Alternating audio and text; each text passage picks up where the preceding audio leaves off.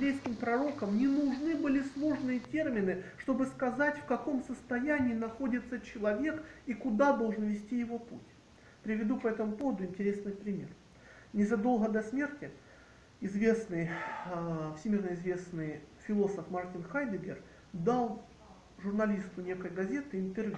Причем он сказал, что э, он многое расскажет, но его условием будет следующее, что это интервью будет опубликовано только после смерти философа.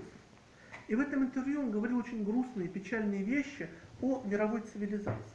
Он говорил, что прогресс будет все дальше идти вперед, и поэтому люди все больше будут отчуждаться от подлинного бытия и друг от друга что чем больше в их жизни появится технических новшеств, тем меньше у них будет времени на общение, на красоту, на смысл, на свет. И в конце концов каждый будет, скажем так, царем в своей голове, но это будет вот такой ущербный царь, потому что его царство будет ущербной вселенной, в которую включен только он сам.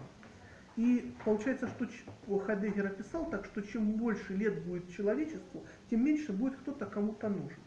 Журналист, услышав это, очень огорчился и грустно спросил, есть ли у мира надежда. И Хайдегер ответил, что у мира есть надежда, если существует Бог. Для современного человека, особенно западноевропейского, поэт – это филолог и преподаватель, а поэзия – это некая забавная игра ума и страстей.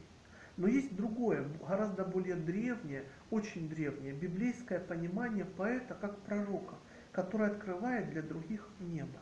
И если спросить, что делает настоящая поэзия в мире, то ответ будет таким. Она на радость всех добрых показывает, что над миром существует небо.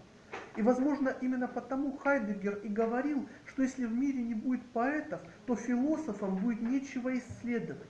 Ведь поэт провозглашает как реальность ту истину, которую ученый исследует только со слов поэта и со слов всех тех, кто честно на земле шел к добру. Это то, дорогие, что я хотела сегодня рассказать.